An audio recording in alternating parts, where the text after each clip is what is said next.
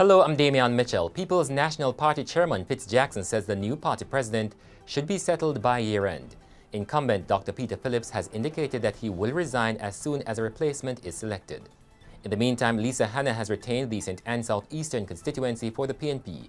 At the end of the judicial recount today, Hanna received 5,150 votes to the Jamaica Labour Party's Delroy Granston's 5,119. The Education Ministry has established an Education COVID-19 Management Task Force, e-COVID. Portfolio Minister Fayval Williams says the task force will arrive at a consensus on the reopening and management of schools amid the pandemic. Several sections along the Stony Hill to Toms River Main Road in St. Andrew were left inaccessible following landslides in Brandon Hill. The National Works Agency says the land slippages began on Monday and it has been responding since then. In sports, former Track Federation President Lamine Diack has been sentenced to two years in prison for his role in a scheme that allowed Russian athletes who paid hush money to keep competing when they should have been suspended for doping.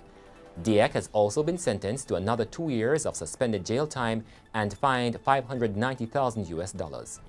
In your currency trading today, one US dollar was being sold for $143.04 the British pound sterling for $182.36, and the Canadian dollar for $111.34. In your weather forecast, Thursday will see morning showers and possible thunderstorms across northeastern and southern parishes. In the afternoon, there will be widely scattered showers and isolated thunderstorms across northern and southwestern parishes. And that's it for the Gleaner Minute. I'm Damian Mitchell.